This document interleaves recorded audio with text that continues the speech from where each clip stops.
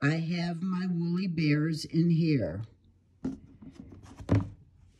They will overwinter in here, and what they do is I've provided, left a lot of dead leaves in here because they hide underneath the dead leaves.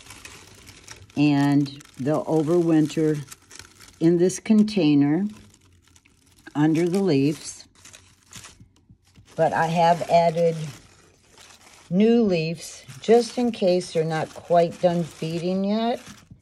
So every day I mist the container to keep the leaves fresh and to keep humidity in. When I quit going outside to mist these every day, I will put a slightly damp paper towel over top of it that I'll check every so often to make sure there's a little bit of dampness in there. In the spring, when the temperatures get about 59 degrees Fahrenheit, 15 degrees Celsius, they'll become active and start feeding again.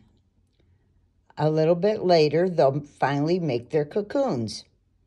When they come out of their cocoon, they'll be called the Isabella tiger moth.